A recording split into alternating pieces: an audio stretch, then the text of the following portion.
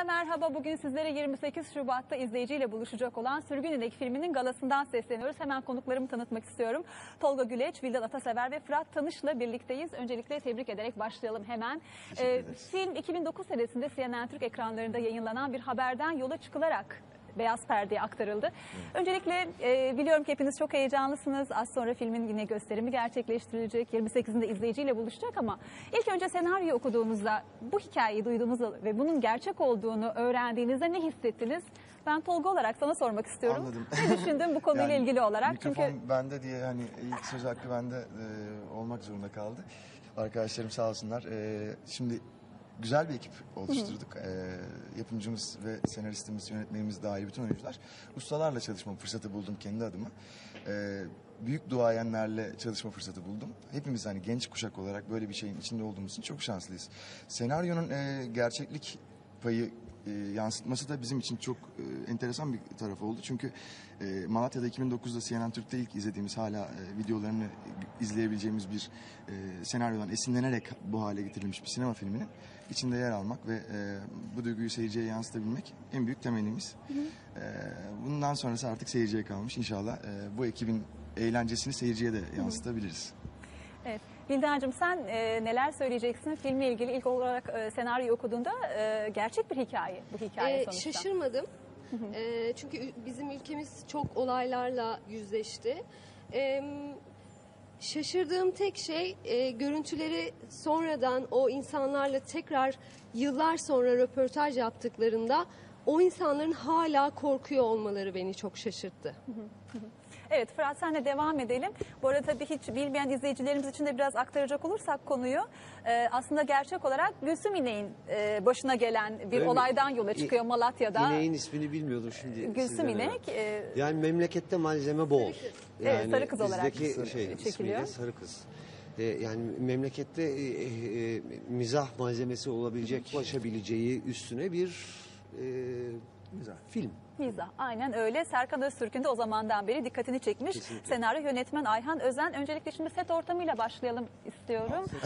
ee. Muğla'nın Bozüyük e, köyünde Evet, çektiniz. evet, nasıldı? Set ortamı nasıldı? Benim e, biz Vildan'la da geçenlerde konuştuk. İnsanlar çok alışkınmış artık set ortamına, Evet. orada film çekilmesine. Nasıl bir tecrübeydi senin Yani için? Türkiye'nin neresine giderseniz gidin mutlaka set görülmüş bir yer. Mesela ben şu an Midyat'ta bir dizi çekiyorum. E, Midyat'ta alışıklar. Muğla'ya gittiğimizde de yine alışıklardı. E, mesela Muğla halkı benimsemiş. Mesela ben şu an Midyat'ta bir dizi çekiyorum. E, Midyat'ta alışıklar. Muğla'ya gittiğimizde de yine alışıklardı. E, mesela Muğla halkı benimsemiş. Buradan gideceğiniz falan diyordu. Biz e, hani set orada olur. Ben seti kaybettiğimde, kendi özel aracımla gittiğimde setin yerini kendileri gösteriyordu. Hani o kadar alışmışlar ki e, bir de o yörenin çok tatlı hani e, kulağa hoş gelen bir melodisi var. E, konuşma biçimi olarak, lehçe olarak. Bir kere o insanları tatlı kılan bir taraf. E, bizim filmde de o lehçeyi, o lisanı hani e, diyalektik kullanmak o kadar eğlenceli oldu ki. E, kendi açımdan çok e, çok yeni insanlar, çok iyi dostlar edindim. E, onların da aynı şekilde e, öyle düşündüğünü düşünüyorum. Biraz Hazım karakterinden bahseder misin bize canlandırdığın Hazım'ın karakter? e, o, o yöreyle pek bir ilgisi yok aslında. İstanbul'da e, üniversite okumuş ve okuldan siyasi nedenlerden ötürü e, uzaklaştırıldıktan sonra halasının e, ve babasının eniştesinin yanına dönen ve köyün güzel öğretmeni e, Gülay'a Gülay'a. gönlünü kaptıran e, bir karakter. E, bu siyaseti sembolize eder mi etmez mi bu seyirciye kalmış. Ee, içinde siyaset de var tabii ki. Okuldan uzaklaştırılma nedenlerini anlatıyor e, film içinde.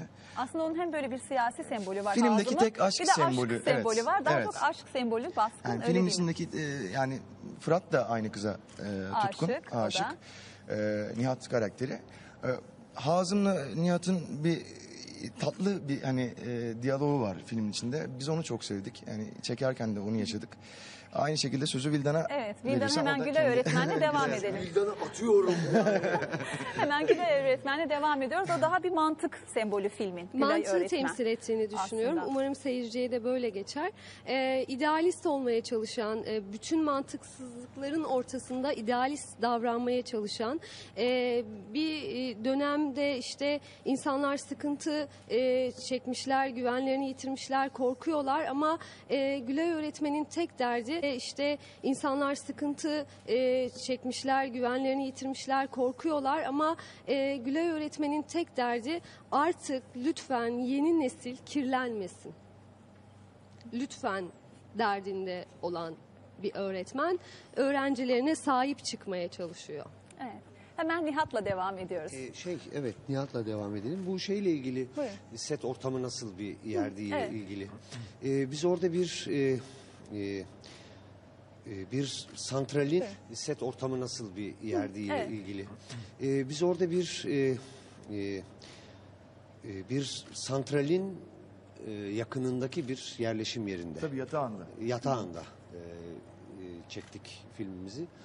Ya, gerçekten Anadolu'nun her yeri gibi. Hemen her yeri gibi. cennet bir e, e, toprak, e, cennet bir doğa. E, ama açıkçası orada e, benim gözlediğim şey e, biraz böyle e, e, geçimlerini çiftçilikle sağlayan insanlardı. Tabii e, filmin e, konusu bir e, inekceğiz olunca ve bu hayvancağızın işte e, yemesi içmesi falan olunca birdenbire çevremdeki insanlarla da sohbet edince yani böyle işte e, e, tarımcılığın e, e, nerelerde olduğu, işte niçin kendi samanımızı e, dışarıdan şu kadar fiyatlara ithal ettiğimizi falan gibi e, böyle şeyler gördüm. Biraz e, biraz sürgün edilmiş gibiydiler.